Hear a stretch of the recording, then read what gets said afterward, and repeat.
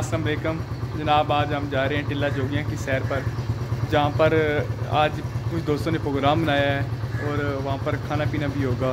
और हम बाइक का सफ़र करेंगे क्योंकि वहाँ पर गाड़ी नहीं जाती, इसलिए सुबह सुबह निकल रहे हैं और तकरीबन आठ बजे के करीब हम गदर चौक पहुँच जाएँगे और फिर वहाँ से आगे रवानगी होगी बाकी दोस्तों के साथ। आज हम, जनाब, जा रहे हैं टिल्ला जोगियाँ। एडवोकेट अकब शहजाद अवान है मेरे साथ। और कुछ इनके वकला दोस्त हैं, जो आगे हमारे साथ ज्वाइन करेंगे डोमेली से। तो अब हम घर से निकलने वाले हैं। टाइम हमारे पास हुआ है अभी जी छः बजकर आठ मिनट। इन हम आठ बजे तकरीबन गतर चौक होंगे, जो डोमेली से थोड़ा सा आगे है।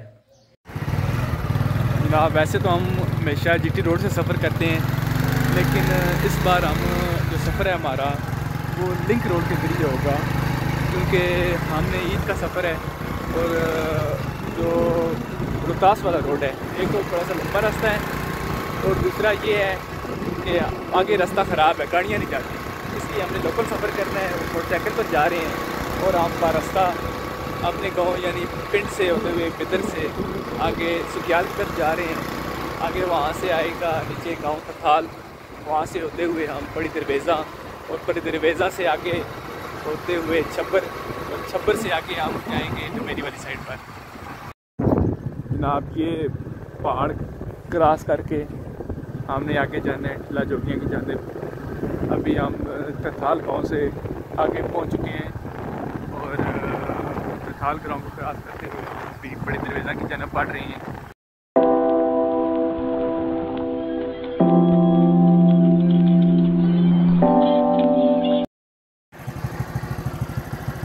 नाजरीन, इस वक्त हम डमेली और जो छब्बड़ के पहाड़ हैं, उनके दरमियान में खड़े हैं। हमने थोड़ा सा ब्रेक लिया है, क्योंकि सफ़र काफ़ी हो चुका है और हमने कहा थोड़ा सा सफ़र को रुक कर थकान को दूर किया जाए। इसलिए आपको पहाड़ों का मंज़र दिखा रहे हैं। ये बहुत ही खूबसूरत मंज़र है। इस वक्त पहाड़ों का सुबह का टाइम है और सुबह के तकरीबन सात बज चुके हैं। और हमने आगे पहुँचना भी है। ये देखें कितनी खूबसूरत रोड है। ज़बरदस्त नज़ारे। वाह जी वाह। माशा जी। ज़बरदस्त। हमने आगे वहाँ पर जाना है जनाब। डेंजरस रोड आगे इसलिए हम यहाँ पे रुक के बना रहे हैं। याद कर रहे हैं। चलें जी। चलिए जी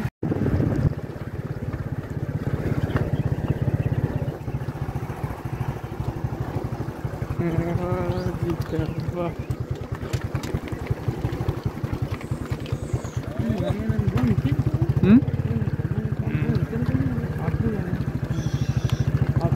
अलैक्म क्या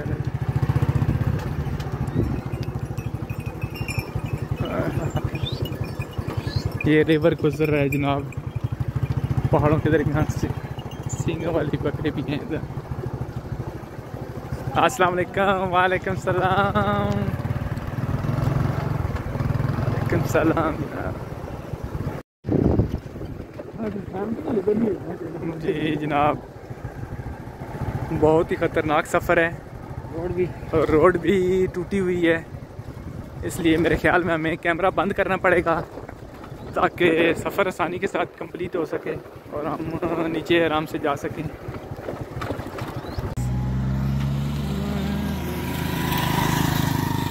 ये हम जनाब गतर चौक पहुँच चुके हैं। यहाँ से आगे गतर की तरफ़ जाना है, ये रोड जा रही है। आगे गतर आएगा, तकरीबन है यहाँ से सात किलोमीटर और बड़गवा बारह किलोमीटर। इससे आगे हमने जाना है टिला जोगियाँ की जानब। ये हम गतर चौक पहुँच चुके हैं और इस वक्त यसरफ भी आ चुका है, जिसके साथ हमने जाना है। ये यसरफ की तरफ़ से हमारी प्रोग्राम सियाती प्रोग्राम बना था। ये यसरफ साहब हैं जिन्होंने प्रोग्राम बनाया था। और ये अकस के बाद साहब। अब हम काफ़िला रवान रवा हैं। कुछ लोग आगे पहुँच चुके हैं और हम भी ने भी यहाँ से जाना है टिला जोगिया की जानब। अभी ये रास्ता आगे जाएगा टिला जोगिया की जानब। ये वाला रास्ता आगे। ये जनाब रास्ते में जा रहे थे टिला जोगिया की जानब तो ये गतर चौक से पीछे एक मस्जिद नज़र आई मुझे। मैंने देखा कि ये मस्जिद फैसल मस्जिद की तरह है। मेरे ख्याल में तो इसे मिनी फैसल मस्जिद बोलना चाहिए। और बाकी तो इस मस्जिद का पता नहीं क्या नाम है। नाम नहीं लिखा। नाम नहीं लिखा हुआ है इसका बाहर बाकी चलते हैं। लेकिन इसका मंज़र बड़ा प्यारा है और नज़र ऐसे आ रहा है जैसे किसी ने जो डिज़ाइन बनाया है फैसल मस्जिद की कापी की है। बिल्कुल ऐसे इसके मीनार हैं। ज़बरदस्त जी। वालेकुम जी। ये जनाब रोड जाता है, हम गद्दर चौक में मौजूद हैं और ये रोड जा रहा है बड़गवा की तरफ़। बड़गवा ग्रिल स्टेशन और ये एक रोड जा रहा है दीना कूठे की तरफ़, लेफ़्ट साइड पे। और जो सामने रोड जा रहा है, वो जा रहा है बेट और चिल्ला जोगियाँ की तरफ़। तकरीबन आठ नौ किलोमीटर आगे है और ये हमारे भाई हैं आकब शहदाद अवान साहब, एडी वडी कैट सुहावा से बिलोंग करते हैं। और ये हमारे भाई आए हैं घूमने फिरने के लिए इनको विज़िट करवाना है, उनको किला जोगियाँ की सैर करवानी है और इसके बाद इन वापसी पे हम आपको एक नया ब्लॉग देंगे। ये जनाब, इधर गंदम को जनाब ऊँटों पे अपने मंजिल मकसूद तक पहुँचाया जा रहे हैं। ये ऊँट हमारे आगे एक बाग पड़ा, अल्लाह खैर करे, अल्लाह खैर अल्लाह खैर। ये देखें गंदम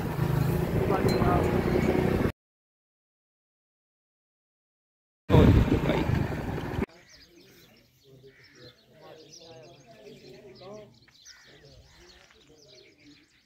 माशाल्लाह जी।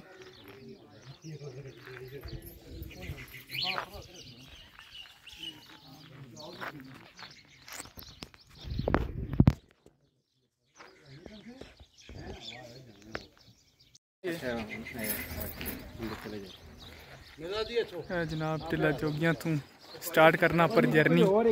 पहुँचे टिल्ला जोगियाँ जर्नी वाह वाह। ਇਹ ਸਾਡੀ ਟੀਮ ਹੈ ਨਾਲ ਸਾਰੀ ਜਨਾਬ ਆ ਗਏ ਹਾਂ टिल्ला जोगियां ਦੀ सैर वास्ते सारी टीम जा रही है जनाब जनाब ये पीछे आ रहे हैं अकस जबार साहब हारस और साथ हैं नंबरदार आसफ साहब गुर खान से आज इनके स्टेमिने का मुआयना होगा छोटा भी है साथ हमारे यसरब इसरार मिर्ज़ा साहब शेख सदीक साहब और पीछे हमारे साथ हैं शमीर सारी टीम हमारे साथ है आज। आज हम अपनी कुल्हाड़ी अपने साथ लेके आए। माशाल्लाह जी ज़बरदस्त व्यू है। और जवान जो है इस टाइम थक चुके हैं। आर साहब अपना क्या व्यू देना चाहेंगे? मसवाका ने। मसवाक जिसकी भूख लगा मसवाक रगड़ सकना। ये बाकी हमारी टीम के मेम्बरान जो हैं जनाब आसफ साहब और चौधरी असफ साहब से पीछे हैं। बाकी जवान पीछे आ रहे हैं। और दो तीन जवान आगे जा रहे हैं। इस पर्चे से हमें जनाब गाड़ियाँ खड़ी की दूसरे रास्ते तो और गाड़ियाँ खड़ी करके हम आ गए हैं इस वक्त। काफ़ी टॉप पर पहुँच चुके हैं।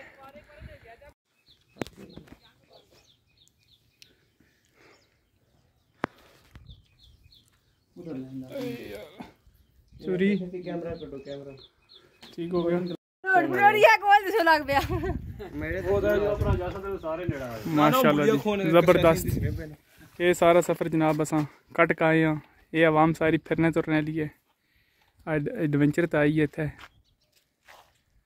एक गल मनो इत्थे लोग ईमानदार ने। ज़बरदस्त जी। माशाल्लाह। ब्यूटी ऑफ़ व्यू ज़बरदस्त। ए मस्जिद है जनाब जी तुम चढ़ के आए हैं। वाह जी वाह। हाँ जी। हम जनाब। टिल्ला जोगिया की तकरीबन हाइट के मिडल में पहुँच चुके हैं। दूसरे स्टेप पे। दूसरे स्टेप पर इस वक्त हैं जिसको दूसरी छतरी भी बोली जाती है यहाँ पर आम जबान में और कितना ज़बरदस्त मंजर यहाँ से नज़र आ रहा है। नीचे। और ये वाला एरिया जो है, मगरा डैम का है, लेकिन धुंधला नज़र आ रहा है। और ने नीचे आबादी है, गाँव है नीचे जो नज़र आ रहे हैं हमें इस वक्त। अभी हमने ऊपर जाना है, और तकरीबन आधा घंटा का सफ़र और बाकी है मेरे ख्याल में अभी इस वक्त। माशाल्लाह, क्या व्यू है। ये दरिया जलम नज़र आ रहा है यहाँ से। बहता हुआ दरिया जलम है और ये कितना खूबसूरत इलाका है। ये बाकी हम पहुँच चुके हैं इसरार अहमद मिर्ज़ा साहब अकस जबार साहब शामिर और हारिस अदील। और मैं आपने चल चल चल कर हम चल। गोजे निकल सन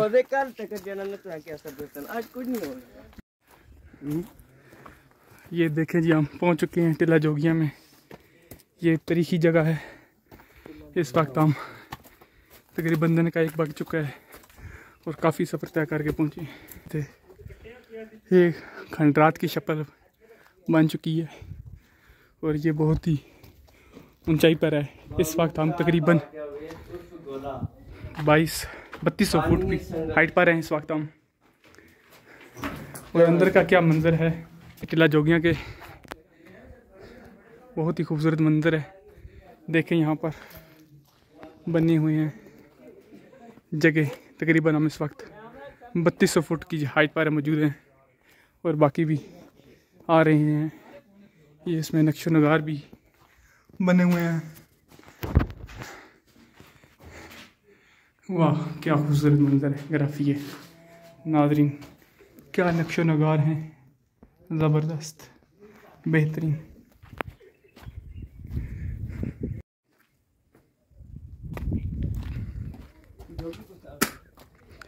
यहाँ पर कहते हैं कि जोगी रहते थे, जो कि यहाँ पर पूजा करते थे, या पुजारी थे, पता नहीं अब क्या वजह है इसकी। इस बारे में ये छोटा सा किला है, ये टिल्ला है। ज़बरदस्त जी। माशाल्लाह। बड़ा खूबसूरत व्यू है। ज़बरदस्त माशाल्लाह। जनाब बहुत ही खूबसूरत मंज़र है। इस वक्त हम टिला जोगिया में पहुँच चुके हैं और अभी रेस्ट हाउस की जानब बढ़ रहे हैं। और ये बहुत ही खूबसूरत मंज़र है। हवाएँ चल रही हैं। हवाएँ बहुत ज़बरदस्त और बेहतरीन हैं यहाँ पर। ये जनाब टिला जोगिया, जो टूरिज़म प्लेस है, वो मैं आपको दिखा रहा हूँ। बहुत ही पुरस्कून एरिया और यहाँ पर चीड़ के दरख्त भी लगे हुए हैं। आप देख सकते हैं, बहुत ही कदीमी जगह है ये और बहुत ही बहुत ही मशहूर जगह है। जेलम की साइड से और रोहतास से आते हुए दीना की जानब, पहले आए फिर वहाँ से रोहतास की तरफ़ आते हुए ये रास्ता आता है। और दूसरा रास्ता जो हम आए हैं, वो आए हैं पैदल, यानी बेट जो गाँव है नीचे, वहाँ से हम चल कर ऊपर आए हैं। ये तकरीबन हमें दो घंटे से ऊपर लग चुका है इस वक्त, लेकिन मज़ा आया है चलने का काफ़ी।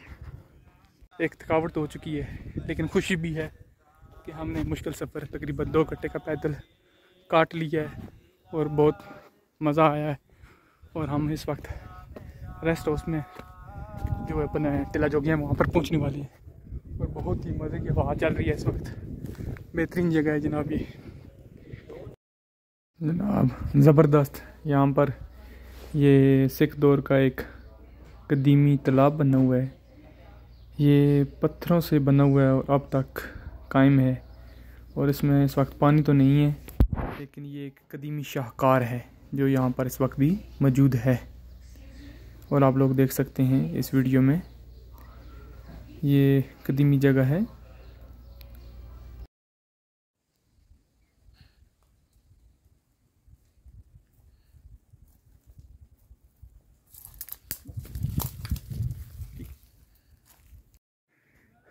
ये जनाब टिल्ला जोगियाँ का जो इंट्रेंस पार्ट है, यहाँ से अंदर दाखिल होते हैं। ये साइडों पे भी लिखा हुआ है टिल्ला जोगियाँ नेशनल पार्क। और ये टिल्ला जोगियाँ की तारीख भी इसमें दर्ज है। इसकी तारीख भी यहाँ पर दर्ज है।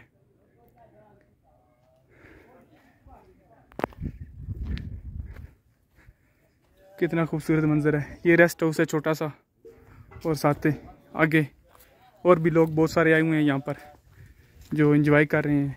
कुछ लोग गाने गा रहे हैं, कुछ लोग खाना पका रहे हैं। हर बंदा यहाँ पर खूब इंजॉय कर रहा है। आज ईद का तीसरा दिन है और बहुत ही खूबसूरत मंजर है यहाँ पर। बहुत ही खूबसूरत मंजर यहाँ का। यहाँ पर लोग काफ़ी इंजॉय कर रहे हैं और मज़े ले रहे हैं क्योंकि आज ईद का आखिरी दिन है, तीसरा दिन। और लोग साथ में यहाँ पर खाने भी पका रहे हैं और इंजॉय भी कर रहे हैं। यासरफ साहब ने आग लगा दी है और गोश्त पकेगा जो हमने उसके बाद जनाब हाथ साफ़ करने हैं उस पर सबने इस वक्त हम सब थक चुके हैं।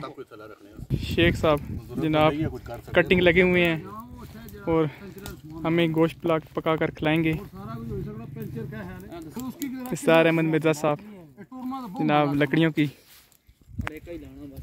लकड़ियाँ और मज़े लाने के लिए दे रहे हैं यहाँ पर।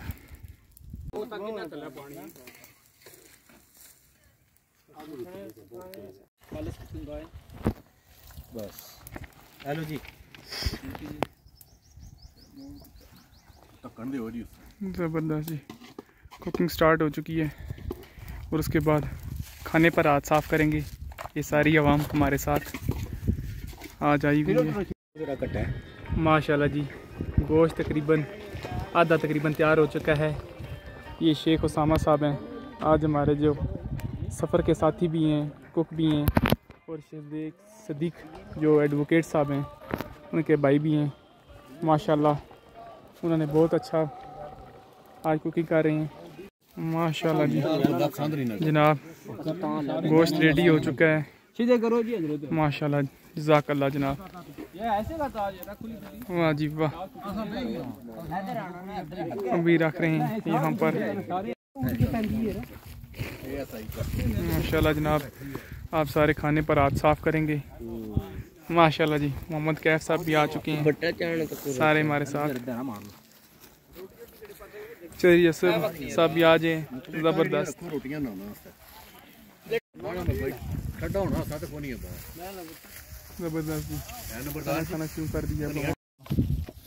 खाने के बाद आवाम की क्या हालत है? माशाल्लाह जी। खाने के बाद के खाने के बाद के मनाजर। आवाम रेस्ट करना चाह रही है। जैसे हुक्मरानों माशाल्लाह जी। ऐसी बात है जनाब ऐसी बात है। ये जनाब इस वक्त हम जो सबसे ऊँची जगह है टिल्ला जोगिया में, उसकी हाइट पर खड़े हैं। और यहाँ से आप तहसील स्वाबा और तहसील पिटदन खान दोनों साइडें देख सकते हैं। बहुत ही खूबसूरत मंज़र। जनाब आपके लिए। और टिल्ला जोगियाँ जिससे तकरीबन हम साढ़े चार हज़ार फीट की बुलंदी पे हैं। ये आप देख सकते हैं। बत्तीस सौ तो सीधी सीधी है ना? ये लास्ट इसका मंदिर बना हुआ है। ये जी मलक आकब साहब ये जी दानिश साहब उसामा ठीक है शामीर अली और ये शेख सदीक ये इनका छोटा बच्चा मोहम्मद कैफ और ये बाकी टूरिज़्म आए हुए हैं लोग। टूरिस्ट कैसे पूछें जी कैसा एक्सपीरियंस रहा कैसा एक्सपीरियंस रहा जी मोहम्मद कैफ आपका? बहुत मज़े का। अब खाना खाना है घर जाके? बिल्कुल नहीं खाना। अस्सलाम वालेकुम। जनाब मेरे ख्याल में तो ये वो जगह है जहाँ पर रांझे ने अपने कान फड़वा कर कानों में बालियाँ डलवाई थी और काफ़ी ये हाइट पर जगह है इस वक्त जहाँ पर मैं खड़ा हूँ। और रांझे ने तलीम हासिल की और रांझा जोगी बन गया। जनाब यहाँ से काफ़ी थकावट के बाद हमारा टिला जोगियाँ से वापसी का सफ़र शुरू होता है। और अब हम यहाँ से अब अपना और अब हम वापसी का सफ़र इख्तियार करेंगे और इसी के साथ ही हमारी वीडियो का एंड होता है और नई वीडियोज़ के लिए देखते रहें हमारा चैनल